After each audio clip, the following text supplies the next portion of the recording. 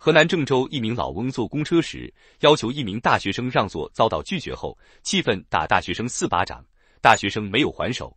待大学生下车后，待在车上的老翁突然心脏病发猝死。搭车让座问题常掀争议。河南郑州一名老翁坐公车时，要求一名大学生让座，遭到拒绝后，气愤打大学生四巴掌，大学生并未还手。待大学生下车后，待在车上的老翁突然心脏病发猝死。事后，老翁家人竟要求该大学生赔偿五十万人民币。最终经法院审理，认为大学生无需对老人的死负担任何责任，判家属败诉。事件引来网友热议，认为判决还大学生公道。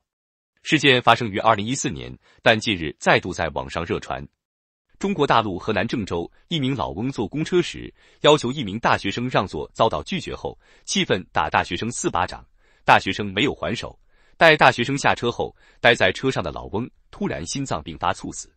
综合媒体报道，事发二零一四年九月九日下午四时许，地点在河南郑州。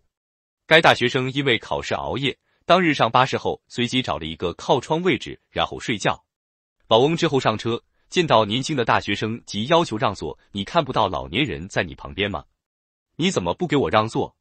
大学生拒绝，两人开始争吵。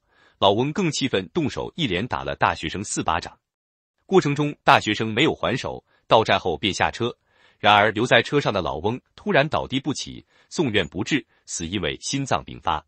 老翁家属得知噩耗难以接受，指老翁患有心脏疾病，需避免情绪过度激动，认为大学生要求老翁死亡负责，要求大学生赔偿五十万人民币。法院审理后表示。无直接证据证明大学生曾用肢体暴力或刺激性言语刺激老翁，认为大学生行为未造成老翁任何侵害，故无需对老人的死负担任何责任，判家属败诉。事件引来网友热议，认为判决还大学生公道，大快人心。也有网友表示，大学生应反向老翁家属追讨赔偿，不应忍，平白无故被打了四巴掌。